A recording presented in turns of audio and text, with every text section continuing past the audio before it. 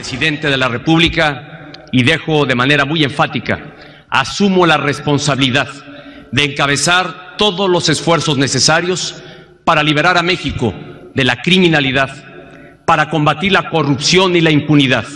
En suma, construir un pleno Estado de Derecho. No hay soluciones simples ni caminos cortos.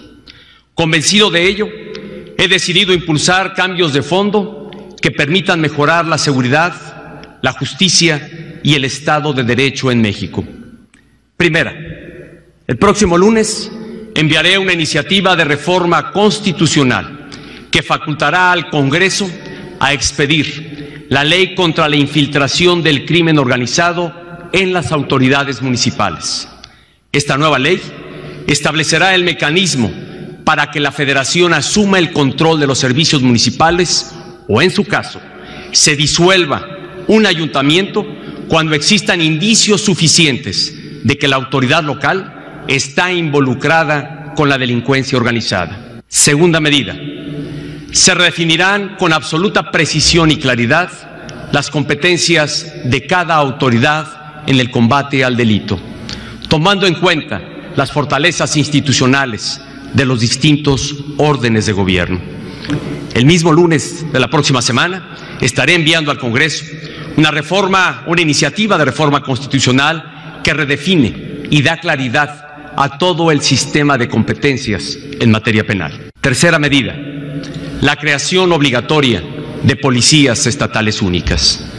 Como país, llevamos años debatiendo este tema, este cambio, y hasta hoy hemos sido incapaces de ponerlo en práctica. Será un cambio cuantitativo y cualitativo.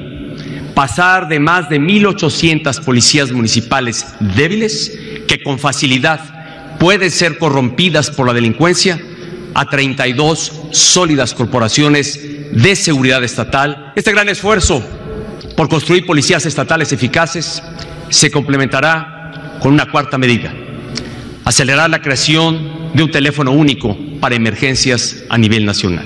Propongo, se estudie la posibilidad de que este número sea el 911. Quinta medida que habremos de impulsar es el establecimiento de una clave única de identidad. Como sexta medida, en lo inmediato, he ordenado al Gabinete de Seguridad que realice un operativo especial en la región conocida como Tierra Caliente.